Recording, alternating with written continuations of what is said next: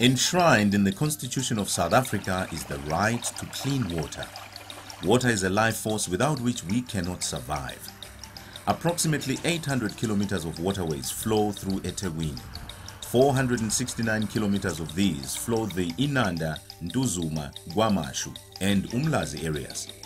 With limited access to tap water, some communities choose to live close to the streams to meet their daily water needs. Washing and sanitation, illegal dumping, pollution, and the scourge of invasive alien vegetation pose a serious threat to these waterways.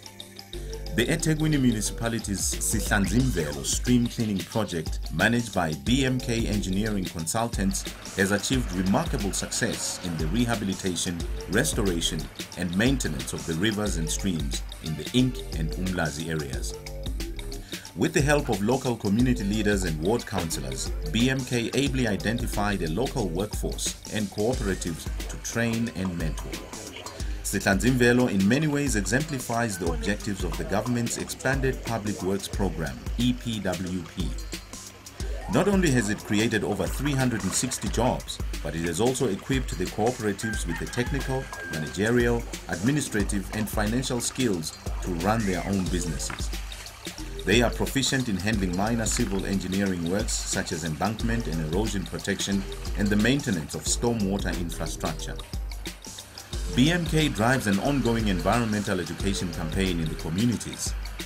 The Wildlife and Environmental Societies of South Africa, WESSA, assists the community in the identification and removal of alien vegetation.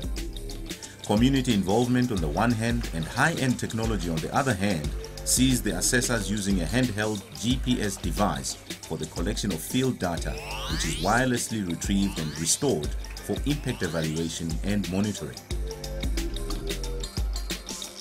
BMK's implementation of the Sihlanzimvelo stream cleaning project has achieved significant success in restoring the natural balance to these waterways while instilling in the affected communities sensitivity to the environment and an appreciation that clean water is indeed an investment in our future.